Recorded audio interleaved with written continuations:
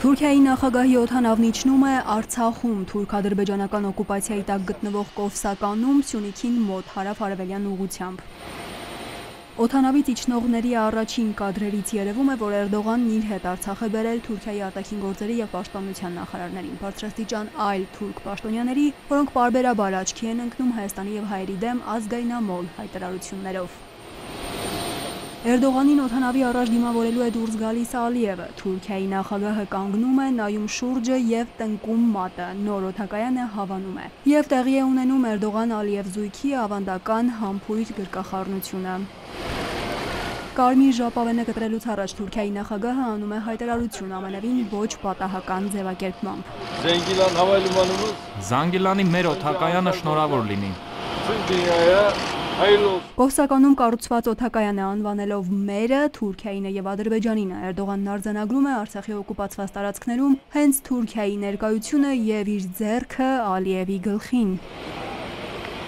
Կովսականի օթակայանից գնում են ջրական Թուրքիայի դրոշներով մեքենան, որի մեջ լինում է Էրդողանը, մոտենում է Գորգին, բայց ստիպված է լինում գնալ երկրորդ շրջան պտտվելու։ Մինչև Գորգին մոտենում է Իլհամ Ալիևը Էրդողանին դիմավորելու։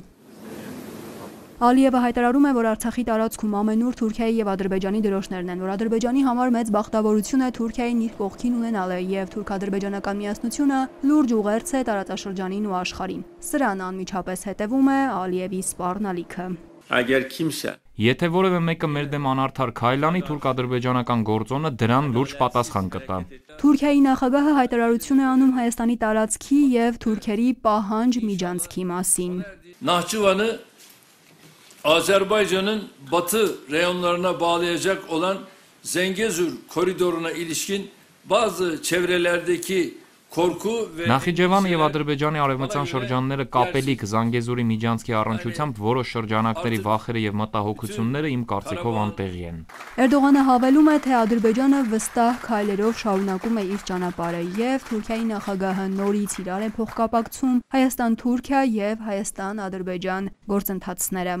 Անի Ավետյան, ժամը լրատվական։